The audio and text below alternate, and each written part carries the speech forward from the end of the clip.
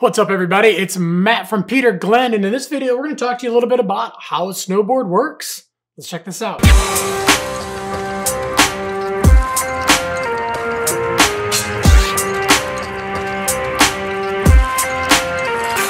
So one thing that I found throughout the years of selling snowboards is that when someone knows exactly how a snowboard works, it really, really helps you make a little bit more educated decisions when you are buying a new board and you know all these little things about how it works in general, and then you can actually take that and apply it to all the pieces and parts and technologies and things that actually go into the snowboards, no matter how new or old they are. And it can really help you make an educated decision as to what board you should buy.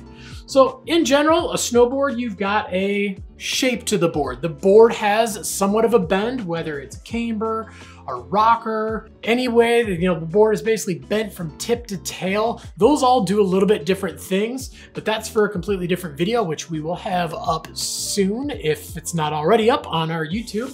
But again, the board has a certain bend to it that's gonna tell it how to ride. But no matter what, we have somewhat of a rounded shape to the nose usually, sometimes a little bit more of a pointed square shapes, but most of the time it has somewhat of a rounded shape to the nose.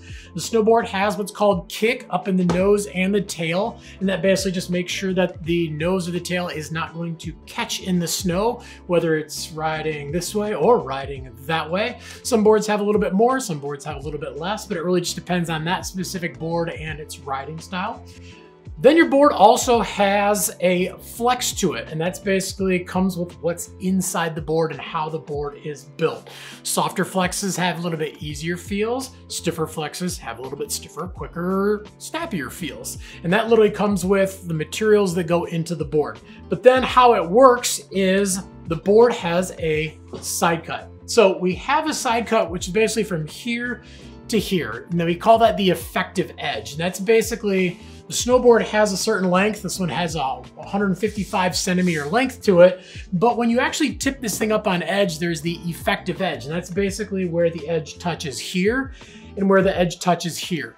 So the edge is basically part of a circle. If we take a circle that's this big, that much of it that's the side cut. So if we have what they call a deeper side cut, that means a smaller circle, but it also means a deeper side cut so the board can carve a little bit harder.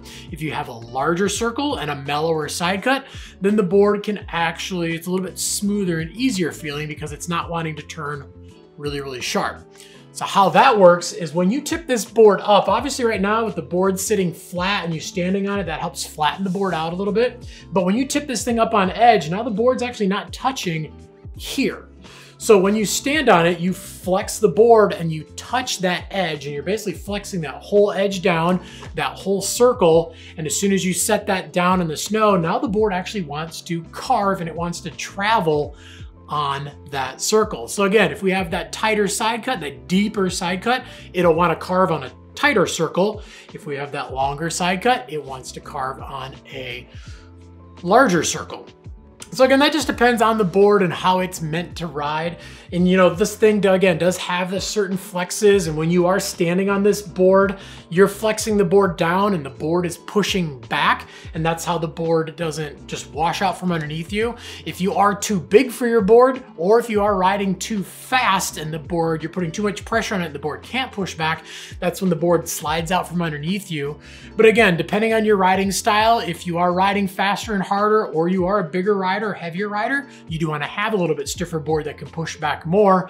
But if you're just kind of having a nice easy feel, cruising through the park, you got that softer board, or you are a smaller rider, usually you're going to have that softer board. You don't need it to push back as much. All those things combined, that's how every single snowboard works. If you got any questions beyond we talked about in this video, definitely leave some comments down below. We're on there every single day trying to answer your questions. We want to make sure we get you into some rad gear, but most importantly, we want to make sure it's going to fit you, it's going to fit your riding style, and you can understand exactly what you're buying. Also, make sure to like, subscribe, and definitely get that notification bell on too so you can find out when all the new videos drop. Grab yourself a new snowboard, get out and ride. Any day of riding is a good day of riding.